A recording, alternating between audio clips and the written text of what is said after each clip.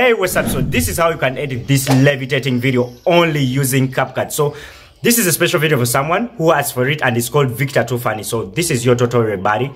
Check it out. So I made this video way back like three years ago using KineMaster. But for this tutorial, I'm going to show you how to edit it only using CapCut. So let's dive into it. So you'll need a second phone. If not, you can connect the phone to the speaker if you can afford it, then I need you to play this video that we are going to use as a reference as we are acting. So grab a simple dish or bowl and pretend as if you're eating snacks, then act as if you're frightened and scared. Like, remember, this is like a magic happening. So I need you to be so frightened. So you can download the reference video. The link is in the description as well as some images that we are going to use. All right, so you're going to open CapCut, then upload our clip that we shot acting. Then I want you to look for an option that says overlay. So when you tap overlay, I want you to go to our gallery and go to photos.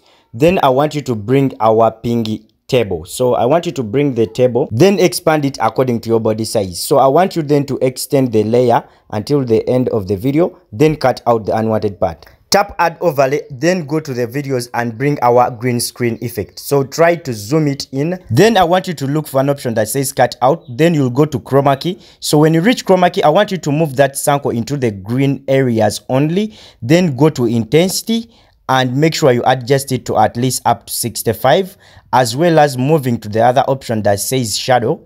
Then you adjust it to around 25 so that's it. After that i want you to play around with these images of the cutlery that are in front of you to make sure that they are in a real alignment that they come out as, as, as if they are placed in front of you. So this is the quick sample of how our video looks at the moment. How fun is that? So look at it after that i want you to export this video.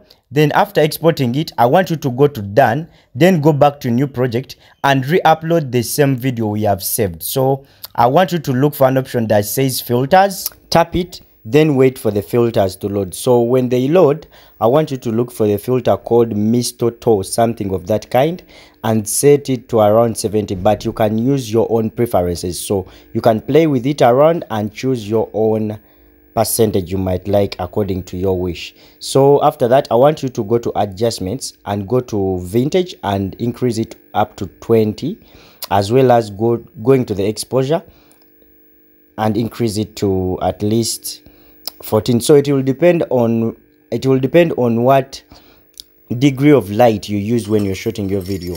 So that's it and this is the final product we get